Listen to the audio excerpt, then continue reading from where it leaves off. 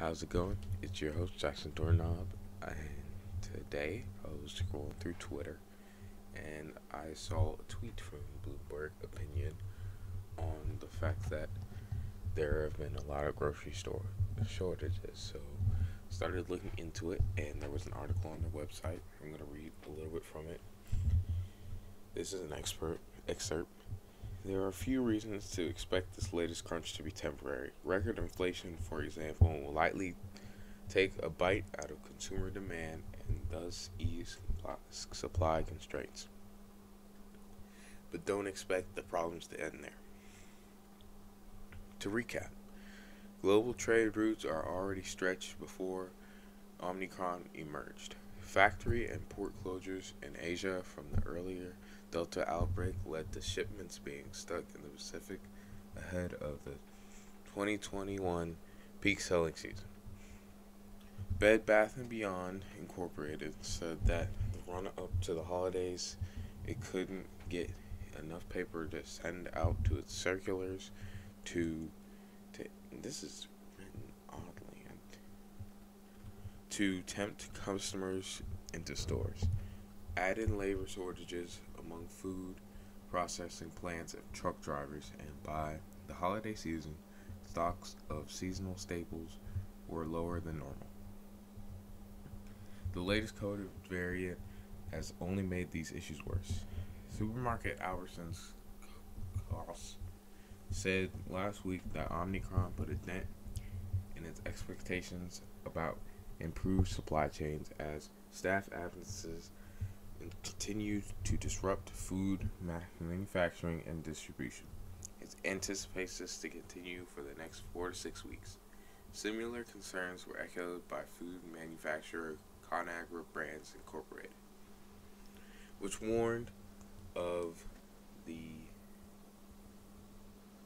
challenge of challenges for the next month or so. I don't know why I blanked out there for a second. Uh, mainly because I was just trying to collect my thoughts on what I was trying to say. But what I was trying to say is, uh, this is silly to go out and do. I mean, we saw it with the the toilet paper incidents in early 2020. I'm sure you remember it. Uh, there was just it was pandemonium. People taking like F-150s and filling their entire back of their pickup truck up with toilet paper. And it was, mainly toilet paper. I don't know why that was.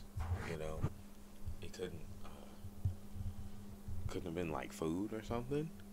You know, it's it's just odd to me to do these things, and I know supply chains have been backed up for a lot of things lately. I mean, if you're a person who wants to buy a PC and you're trying to get a graphics card, good luck to you, honestly, because it's just it's rough out there. You know, supplies are extremely limited for stuff like that, and the stuff you can get, oftentimes is like way out there.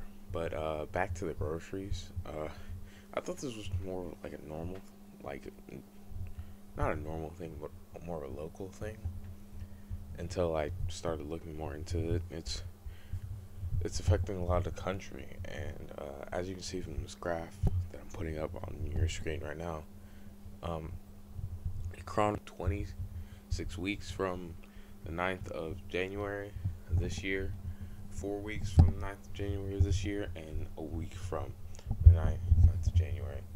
Most things were normal except for like sports drinks and aseptic juices I don't know what an aseptic juice is. If I do, I'll put it in.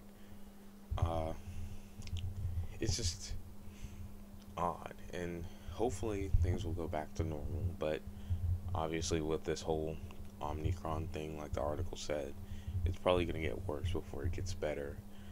Uh, remember, later on in 2021, there was a chicken shortage uh, around September or November and I don't, as far as I've heard, that's still going on.